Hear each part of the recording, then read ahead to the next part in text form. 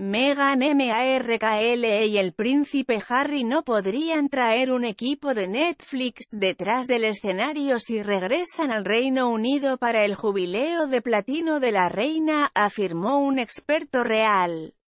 No se ha confirmado si el duque y la duquesa de Sussex regresarán al Reino Unido para las celebraciones que marcan el septuagésimo año de la reina en el trono.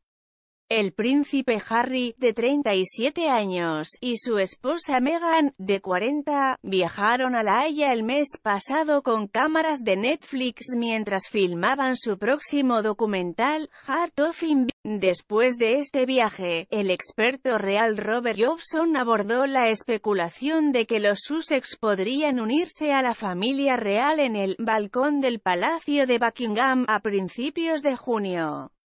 pero no será una visita al Reino Unido con un séquito de Netflix, predijo Jobson. Le dijo a The Mirror, cualquier cámara de Netflix que lo siga se quedará en la puerta.